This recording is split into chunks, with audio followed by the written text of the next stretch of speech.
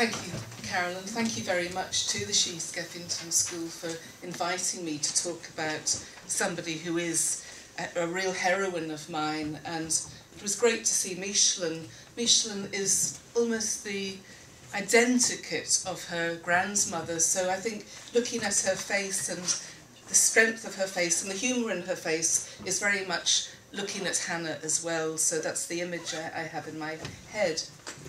So we know that Hanna Sheehy Skeffington, one of the inspirations for the school, is one of the most notable women ever to have come out of Ireland, a feminist icon, an unrelenting fighter for causes that range from women's right to citizenship, Ireland's right to national freedom, everyone's right to religious freedom or the right to be atheist, women's right to control their fertility, support for Russian and Spanish revolutionaries. The list of her causes throughout her life is vast, and I know that she would have made many connections with people in this room today. But the woman herself is more than just a life dedicated to endless causes. She was a profoundly human and humorous individual, and she had to struggle to free herself from the influences of her upbringing. She was a woman widowed in the most brutal of circumstances, but a woman who never lost the humanity that made her such an attractive individual. And that's, I think, why she is such an exemplary role model. At the age of 56, after her last prison term, which was one month, one month in Armagh jail for crossing the border to speak on behalf of Republican women prisoners, she was then defying a unionist imposed banning order. She wrote about her experience in An Phoblacht. If ever you're in jail, as well you may, reader of An Phoblacht, whatever else your jailers may take away from you, do not let them deprive you of your sense of humour. For you'll be sure to need it in jail more than anywhere else. I was always glad to have kept mine in Armagh, in Mountjoy, in Holloway, and in various Bridewells barracks and police stations. I, I think sums up a person. But she was an Irish woman born in 1877 when Queen Victoria was still on the throne. But her openness to new experiences, her acceptance of a diversity of views, her willingness to challenge orthodoxies is why she's inspirational. When she was in America in 1917, publicising the death of Frank and the cover up of his murder, and also organising support for the ideals of the Easter Rising, a small group of American feminists were very quick to see that Hanna was really one of them, and they invited her to become a member of what they called the heterodoxy. It was an extraordinary lunch club that met on Saturday afternoons for over 20 years. The members were feminists, socialists, peace advocates during the First World War, modern women with bobbed hair and unorthodox living arrangements. Some were openly lesbian, women like Crystal Eastman, Elizabeth Gurley Flynn. But the qualification for membership of the orthodoxy was the fact that the individual had in some way stepped outside of convention. They stood on street corners and handed out birth control literature they helped organise strike committees. Sometimes they were arrested. A membership of the heterodoxy was always a proud boast of Hanna's. She loved to say she was a member of a club that only accepted the nonconformist. In her own family, she could trace a continuity between different generations who had struggled for freedom, just as Micheline continues um, that continuity. She could boast that her great grandmother had known Lord Edward Fitzgerald, the United Irelander killed in action in 1798. Hanna said that her grandmother was 106 when she died, so I actually touched the withered hand that had clasped his. Her father and uncle had both been Fenians, and her uncle Eugene was famous as the Landleague priest. He once shared a platform with Anna Parnell and was always a strong supporter of the Ladies' Land League. As a young child, a chit of four, she called herself, Hanna visited her uncle when he was imprisoned in Kilmainham jail. Twenty years later, Uncle Eugene hoped she'd write an account of the Ladies' Land League, and the very early writings of Hanna when she was still a student, you can see that she always wanted the radical path, and her emphasis was on women's readiness to take a militant path. Hanna and two of her sisters, encouraged by their mother, were among the tiny numbers of women to enter university.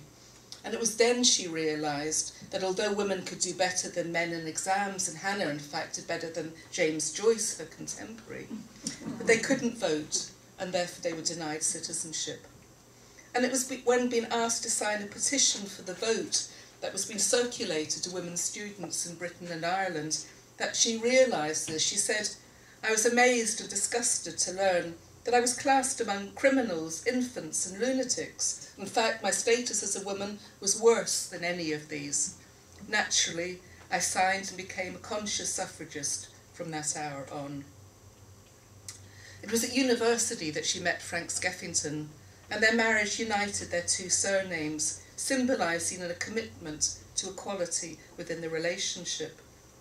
But a new life as an emancipated young woman didn't come that easily.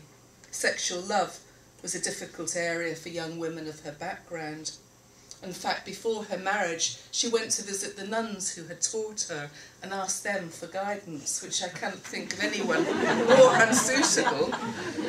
But by the end of the first year as a married woman, she'd bought Marie Stopes's book Married Love, a book considered immoral and obscene by most authorities and, of course, by the Catholic Church. You probably still think that. Um, so a life determined by their own intellectual and moral convictions had started. And when their son Owen married in 1935, Andrée, um, his wife, told me that one of Hanna's acts as a mother-in-law was to buy married love for the young couple. She said they shouldn't start a family too soon. But it was also partly a small act against censorship on Hanna's part, as the 1934 Criminal Law Amendment Act now banned the importation of contraceptives to the Free State. She'd already dismissed those who had imposed the Censorship of Publications Act, which she said was a ridiculous law imposed by prudish men. So I like her blunt, straightforward way of speaking, and I think we can tell what her reactions would be to current issues here, such as abortion and marriage equality. Owen said his parents thought themselves out of religion, that they took a conscious moral decision to reject the tenets of Christianity, so he himself was not baptized. And this was really difficult and painful. There was estrangement from both families. They spent a miserable Christmas on their own, the families not speaking to them. Hanna found that she could no longer work in a convent as a teacher.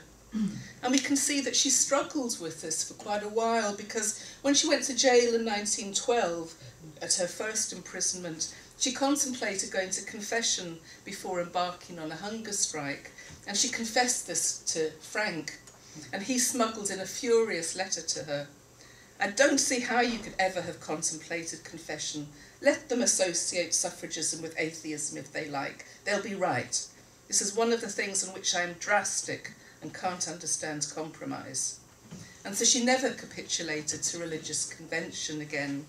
When dying, she urged Owen to remember that she had no religion. I am an unrepentant pagan, she declared. So I like to think of Hanna, a woman who loved flowers and gardens, who was aware of Ireland's Celtic past and tradition of strong women, defining herself as pagan. It seems to me to sum up a woman who rejected artificial man-made pomp and ceremony, the main function of which was simply to ensure the continued dominance of patriarchal authority. So how did her political activism begin? She and Frank had helped to set up the Irish Women's Franchise League as a militant campaigning group for women to get the vote. By 1912, desperate to ensure that women would be involved within the Home Rule Bill about to go through Parliament, one of their slogans was Home Rule for Irish women as well as Irish men, because women were going to be completely excluded from any kinds of political self-government. She and her colleagues felt they had no alternative now but to take the militant path. She chose the windows of Dublin Castle as her target, because it was the seat of British rule in Ireland, and she said she wanted to emphasise the wrongs of many years. So she clearly saw a connection between women's emancipation and national self-determination. The suffragettes saw themselves as outlaws, as they had no say in the making of law. Hanna declared she wanted militant militancy. She said, desperate diseases need desperate remedies. And if the voters wrested from government by methods of terrorism, when five and forty years of sweet and quiet reason produced only seven talked out or tricked out suffrage bills, why, who can say it wasn't worth a mutilated letter, a cut wire, a premier's racked nerves? By the outbreak of war two years later, she had become a gifted polemicist and an outspoken opponent of imperial rule. And she had a very powerful um, article in the Irish Citizen against the war. If male statesmanship, after all these centuries, has nothing better to offer by way of adjusting differences than a universal shambles, then in heaven's name let men allow women to lend a hand not at mopping up the blood and purifying the stench of the abattoir, but at clearing away the whole rotten system. Until then, it's our duty to press on with unabated energy, to increase our activities at this crisis, to preach peace, sanity and suffrage. And I think it's really important at this time of centenaries when the emphasis on trench warfare and what men did in the war to see that there was a group of people who very, very uh, courageously continued to argue that war was not a way to solve political differences. You know that Frank's opposition to war led to imprisonment and a hunger and thirst strike before he won his release. The international suffrage movement was desperately trying to see what women could do to try and influence the male statesman. And through Hanna's efforts, Irish women were going to be a separate delegation to the Women's International Peace Conference in The Hague, which took place in April 1915, exactly 100 years ago. She pressed for Ireland to be recognised as an independent, small nation, not part of a British section, which was always the case in the past. And it was an historic recognition. She said the first time on an international stage, Ireland was recognised as an independent, small nation what happened was that the British government closed the North Sea to shipping and prevented both the British and the Irish women delegates from getting to The Hague. But itself, it set the foundations for what later became um, the League of Nations and it formed the Women's International League for Peace and Freedom. So that Hague conference is something very important in the feminist calendar. In these tumultuous times just before the Easter Rising, Hanna was growing closer to the political views of James Connolly. She wrote to Louie Bennett, uh, a, a, a, pacifist suffragist, um, on what her views were on the question of war. It's very significant because Hanna's often assumed to be a pacifist, like her husband. But she said, if I saw a hope of Ireland being freed forever from British rule by a swift uprising, I would consider Irishmen justified resorting to arms in order that we might be free. I should still be radically opposed to war and militarism. James Connolly told her that she had been nominated a member of a civil provisional government that would have come into existence if the rising had lasted for a longer period of time. And during those first couple of days, she brought food to some of the outposts and messages as well. But the murderer of Frank, arrested while on his way home after unsuccessfully trying to organise a citizens' militia to prevent looting, and then brought to Portobello Barracks, shot and buried in the barracks yard, his family not informed of his death, completed Hanna's alienation from the British state and prompted her growing commitment to Republican ideals. In publicising his murder, she found her home ransacked by soldiers, her son terrified, his drawings confiscated as evidence of pro-German sympathies, her maid arrested, Frank buried secretly without her knowledge. By force of will and using all the contacts she and Frank had built up over years of political activity, she managed to meet Prime Minister Asquith and made the British government agree to a public inquiry. I often think of um, the widow of Pat Finucane when I think of what, what Hanna had to do that at that time and how she succeeded in getting an inquiry, whereas Geraldine Finucane is still mobilising and lobbying in America to try and, and get the same. But despite her efforts, the public inquiry and the public inquiry, there was a cover-up by military and politicians. And Bowen Colthurst, the perpetrator, was able to settle down in Canada, while Sir Francis Vane, the officer who'd done so much to help Anna in, Hanna in her efforts, was dismissed from the army. She refused very substantial compensation by the British state, money that she could have done with. She had very, very little now. But she decided to publicise Frank's murder in America. She was now hounded by the British state, refused a passport to travel, and had to smuggle over herself and Owen using assumed identities. While in America, she was tailed by Secret Service agents who reported on her meetings and on what she said. But she managed to have an interview with President Wilson. And by the time she was ready to return home to Ireland in July 1918, she described herself as a Sinn Féiner, ready to take her part in the new national movement.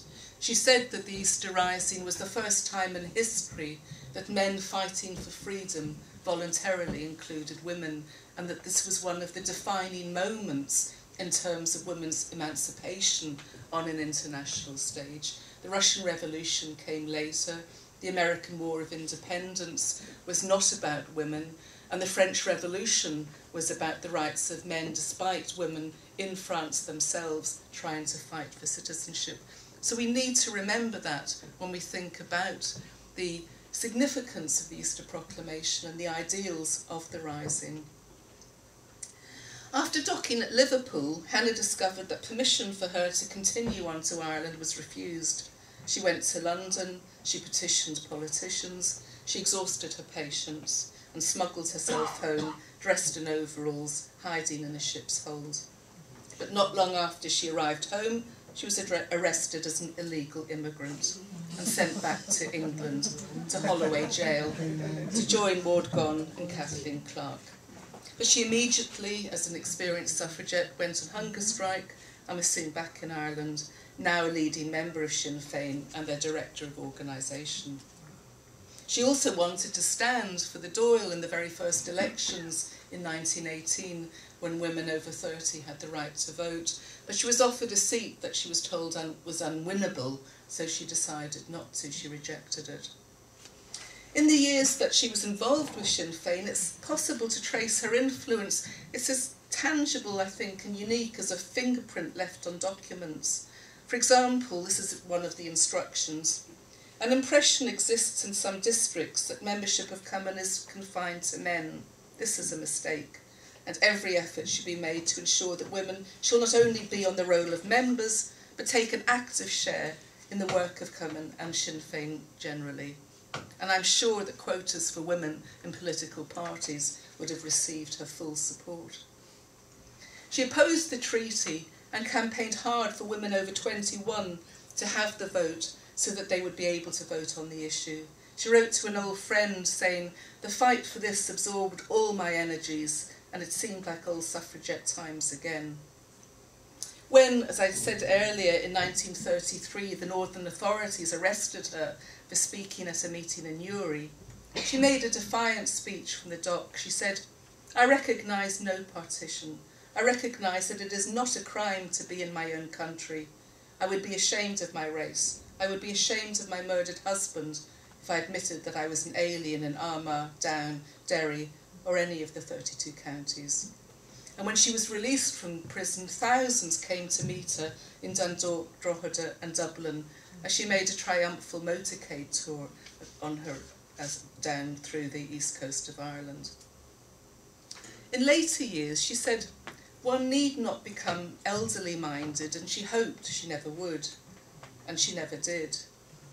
In 1943, at the age of 66, she stood for the Dáil, one of four independents who hoped their example would lead to the formation of a women's party.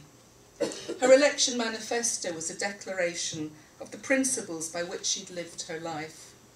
She said there can be no true democracy where there is not complete economic and political freedom for the entire nation, both men and women.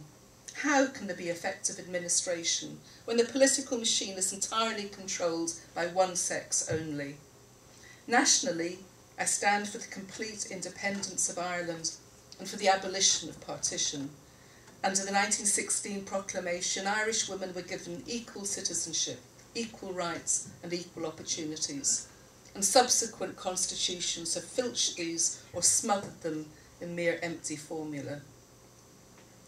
The very last article she wrote was published after her death.